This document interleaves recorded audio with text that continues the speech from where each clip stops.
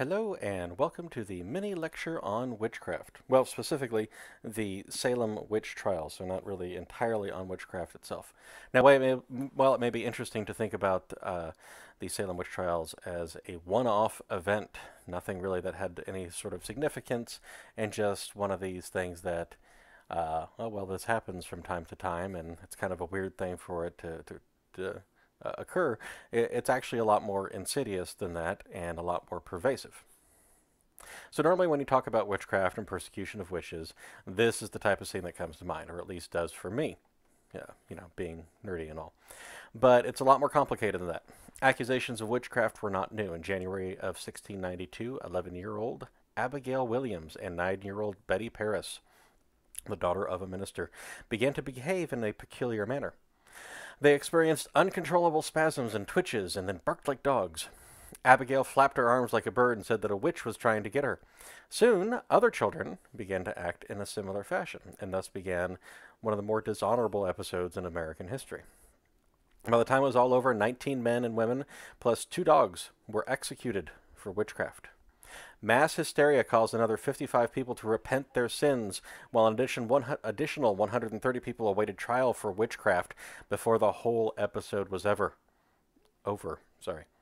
One of, the, uh, one of history's primary functions is to dispel the popular belief that's widely held but factually incorrect. Few subjects are more enveloped in myth than the Salem witch scare. Some of the myths are obviously incorrect. No one in Salem was actually burned at the stake. They were hanged. Um, one person was actually pressed to death. Nor were witchcraft accusations uh, leveled exclusively at women or the elderly or the poor. Fourteen women and five men were hanged. Uh, as I mentioned, one man was pressed to death with heavy stones for refusing to plead guilty or innocent. He actually did. He refused to enter a plea and he was pressed to death. Uh, his final words were "more weight."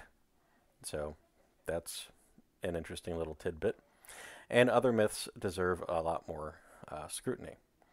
The scare only ended when children accused of governor's uh, accused the governor's wife of witchcraft, and a special grand jury was convened that quickly threw out more than hundred charges of witchcraft. But there's a bunch of myths. Myth number one: By 1692, almost no education educated people believed in witchcraft. That is false. Even educated people believed that the devil was present. Sir Isaac Newton you know, the guy who invented a whole new way of uh, dealing with mathematics in order to explain his new theory of gravity. Uh, also wrote extensively on the devil and witchcraft and ghosts. Myth number two Salem witchcraft uh, scare was a one of a kind incident and an anomaly in the history of New England. Between 1645 and 1663, about 80 people throughout the Massachusetts Bay Colony were accused of practicing witchcraft. 13 women and 2 men were executed.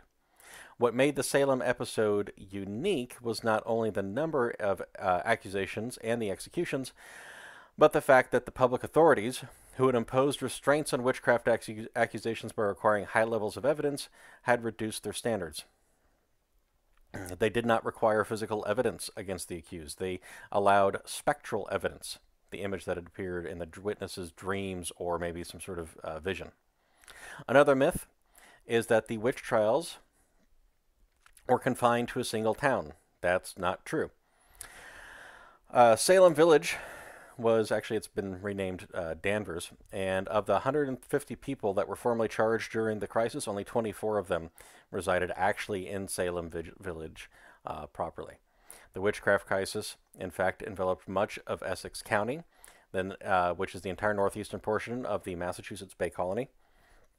And more people had been accused of witchcraft in neighboring Andover, Andover, sorry, rather than uh, Salem town or even Salem village itself. It's weird the way they have towns and villages with the same type of name. It's uh, just a minor type of thing. Uh, number four, this is one an argument that I get into my wife with a lot, is she's a microbiologist. Uh, and it's that the scare was brought on by the hallucination of a disease or by poisoning. One is that uh, it's um, brought on by a mold that grows on rye, which is called ergot, um, which basically is LSD. Uh, and that's not the case. That would be a nice, simple explanation for it, as people were just uh, had some sort of drugs in their system. But that's not the case. It actually grew out of tensions that have been mounting for decades, for generations. Uh, all sorts of things were going on in the environment that made this one of those things that uh, unfortunately eventually happened. You had wealth disparities that were growing. People were changing the way that they made money. People were um, were scared, really. Uh, there was a conflict with Indians aligned with the French. You had it was known as King William's War. You also had uh, the fact that uh, Massachusetts Bay was stripped of its original charter. Basically, the entire government system was thrown into disarray. And then the scare was insignificant. That is the final myth. It had no real lasting impact, and it did.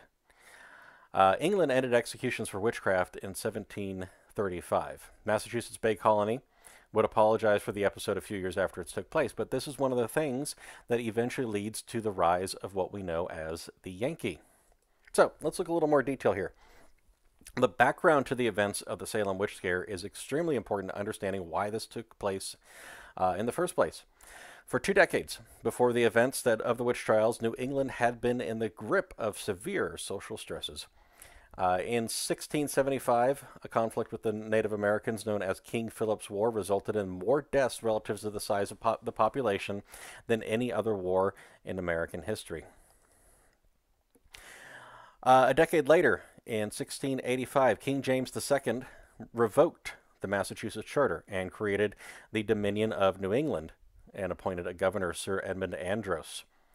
It combined New York, New Jersey, uh, and Massachusetts, and of course parts of what we know today as uh, New Hampshire and Vermont and Maine into one particular uh, section.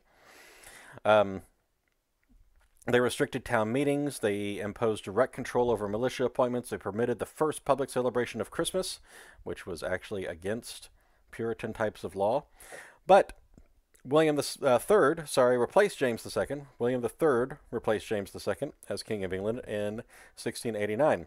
Andros was overthrown, but Massachusetts still was required to eliminate the religious qualification for voting, which they had before, uh, and then also to uh, tolerate new groups of people like the wacky Quakers, which they're not that wacky, they're just extreme pacifists. then you also have uh, a sudden increase in slaves in New England. In 1637, the Pequot War produced the first known slaves in New England. While many Indian men were transported into slavery in the West Indies, many Indian women and children were used as household slaves in New England. In 1641, the Massachusetts Body of Liberties recognized perpetual and hereditary servitude, um, although there is, they do kind of go back and forth on this a little bit. But one slave in particular, her name was Tituba, was a part of the growing number of slaves that were being imported from the West Indies. You also have complex social roots going on here. It drew upon pre-existing rivalries and disputes with rapidly growing Massachusetts port town, uh, being Salem. That's really what it was, as a port town. You had families that had squabbled for generations over which land belonged to which of them by different rights, by different inheritance. Uh, people who'd purchased lands, uh, surveys were not done properly. All sorts of different things were going on there. Uh, it provided ample opportunity for people to take revenge once this witchcraft scare started up.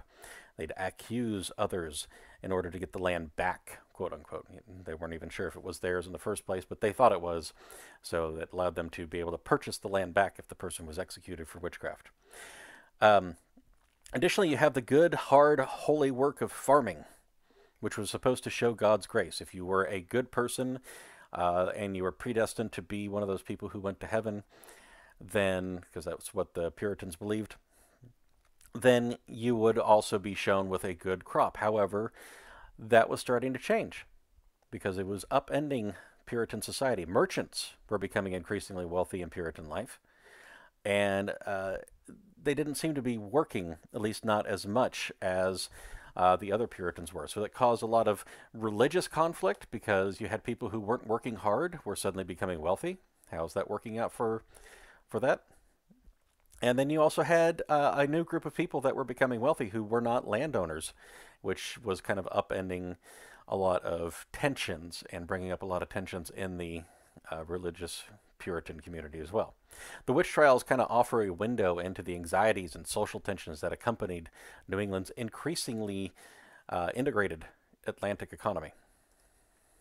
Now, there are conflicting reports of what actually happened to set off the witch scare. Most historians seem to point to the uh, woman Tituba, the slave Tituba, making a witch cake of rye meal and urine to help counteract symptoms of uh, some girls that were convulsing and choking uh, in particular.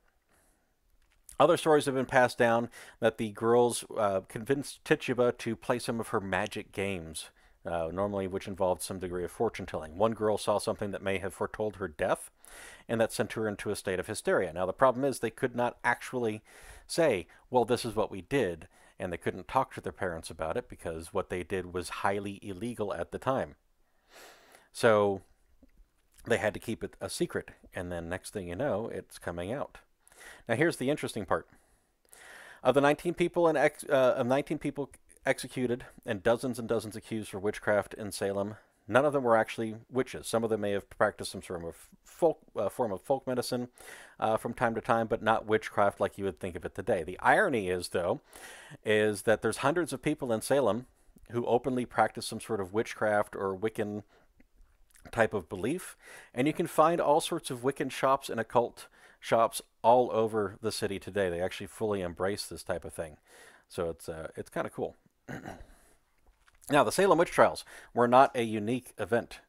In continental Europe, the witch hunts uh, were much more common than in America. Thousands of people were executed uh, often isolated and impoverished older women who were regarded as a drain on community resources and an easy person to blame if things went wrong. Mid- midwives were also an easy person to blame too. Uh, obviously, the child died because you were a bad midwife or therefore a witch or something like that, is one of the things that uh, would be often, to- often tossed out. And it's not like it just stopped in the 17 in 1700 either. Uh, as late as 1787, outside of Independence Hall, which you see here, this is while the framers were drafting the U.S. Constitution. A Philadelphia mob killed an accused witch. In the half century before the Salem witch trials, more than 80 people were put on trial for witchcraft in Massachusetts and Connecticut. During the 17th century, some 32 people were executed for witchcraft in the American colonies. What was unique about the Salem witch trials was the number of people who were accused and convicted. Previous witch trials, the judge had high standards of proof, which resulted in most people being acquitted. But with the changes in the government, with England revoking the charter, the judicial judicial system was basically tossed out the window, and then they were expected to replace it. But there was not enough time, and they just hadn't gotten around to it. So the special court that had been set up allowed the use of spectral evidence, testimony from people who had visions or dreams that somebody was tormenting them. Uh, the court also permitted the use of psychological pressure and even torture to obtain a confession, and ruled that anyone who confessed uh, was would be allowed to go free as long as they identified uh, potential witches witches too. You couldn't just confess and then you get to go free. You'd also have to say who else was there. And oftentimes, uh, some people would refuse to actually name anybody else. They would say, Yes, I did it, it was me, and then that was it. For the educated Puritan elite, however, there's some sort of double irony in the fact that the witch scare erupted in Salem, because Salem means peace. And the town, town founders had actually hoped that Salem would be a village of peace, an example. Uh, they had drawn the word Salem from Jerusalem, hoping that the new village would serve as a foundation uh, for what they envisioned to be a new Jerusalem.